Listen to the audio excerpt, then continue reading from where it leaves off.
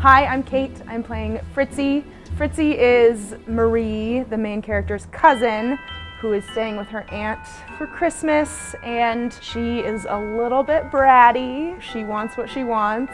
The Nutcracker is about Fritzi and Marie, who for Christmas, Marie gets a Nutcracker doll, which Fritzi breaks, and their godfather fixes the doll, and then late that night, the clock starts to change, and they shrink down, and they're in the kingdom under the tree, and the Nutcracker shows up, and Fritzi actually gets kidnapped by the Mouse King and used as leverage, and then the Mouse King and the Nutcracker battle, and Fritzi learns that you don't have to be a brat to get what you want. This is a great version for kids to know the story. We get the kids up on stage. It has masks and sword fighting, and it's a great lighthearted version to kick off the holiday season.